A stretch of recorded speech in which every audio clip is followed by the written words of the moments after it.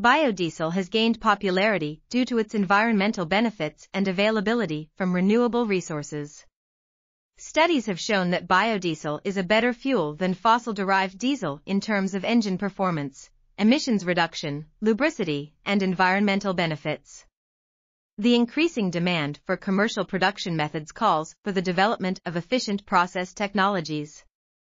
This paper explores the use of ultrasound in optimizing the transesterification conversion of waste cooking oil to biodiesel.